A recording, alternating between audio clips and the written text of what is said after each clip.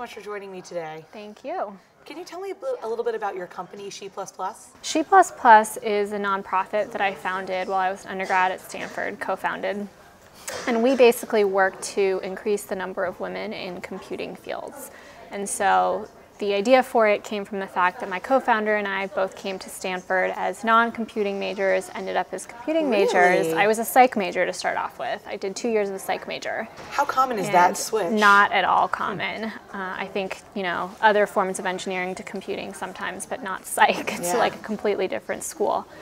But we both ended up switching into computing from her from biology, me from psychology loved it, wanted to do more to encourage especially young girls and women into the field. And so She Plus Plus is a nonprofit that does that in a few ways. It's really exciting. Mm-hmm. Why do you think it's so important to have women in that field?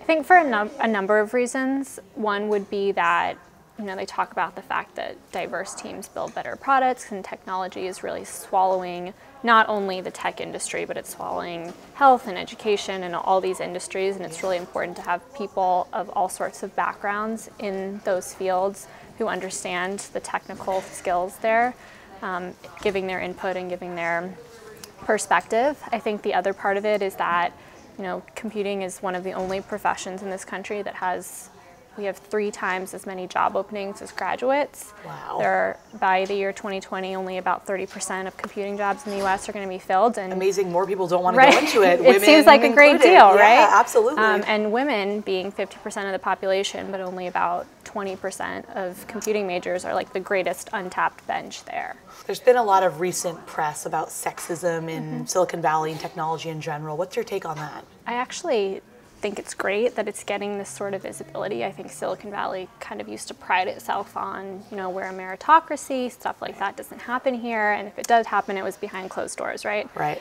Um, and the fact that it's happening in the media, the fact that people are talking about it individually, I think means that obviously it's not a great situation, right. but it's getting the kind of attention it needs to actually change. And these things happen. Like all of the situations that arose, especially last year, forced these huge companies like Google and Facebook to reverse to release their diversity statistics, right. and that kind of forces them to be accountable for changing them. So some good has come out some of it. Some good has come out of it. Have you ever experienced any kind of sexism in your in your career path so far?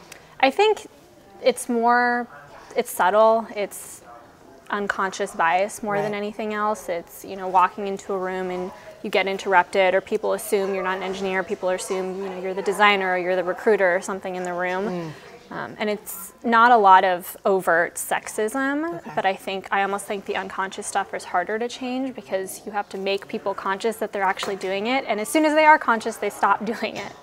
Do you think that the media attention will encourage more women to pursue this, or are you worried that it will deter them? I think it will encourage them. I think if you look at the biggest portrayals of technology in popular media, mm-hmm. um, they're actually like pointing fun at it. They're actually you look at like HBO does the show Silicon Valley, good and show, it's, it's yeah. a good show. It's funny, right? yeah, yeah um, and I think you know it's pointing fun at it, and it's right. pointing out all the things that we need to change and that I think are going to change as a result of this attention. But it also points out kind of like the scale of impact and the scale of how technology affects so many different fields. That I think is just kind of this switch that gets flipped for people. Like I don't have to be a pure software engineer, if I major in computer science, here are all of the other things I could do. Great. Thank you so much for speaking with me today, Ellora. Yeah, thank you.